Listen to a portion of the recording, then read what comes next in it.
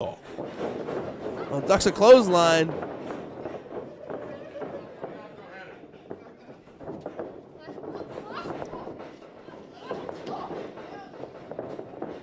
Oh, looks like Mysterious Q's taking her to Wrestling School 101. Yeah, he said he's not gonna strike her, so he's just gonna out wrestle her. Let's see. Let's see if he can be a man of his word. I've seen him go back on it a couple times now.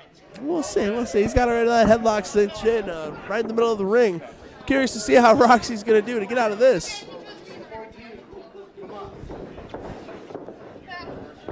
Oh, and down to one knee.